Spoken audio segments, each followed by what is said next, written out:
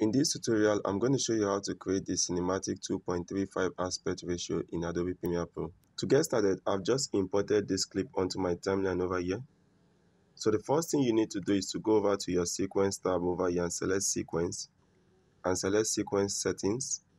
Now make sure the editing mode is set to custom and come down to your frame size and what you want to do is to change the value for the horizontal based on your video's original resolution. Since I'm working with a 4K video, I'm going to set my horizontal value here from 2160 to 1634 so you can pick from the figures that I've placed on the screen. And hit OK. And hit OK once more. And that's it guys on how to create this 2.35 aspect ratio in Adobe Premiere Pro. Thank you for watching and see you in my next tutorial tomorrow.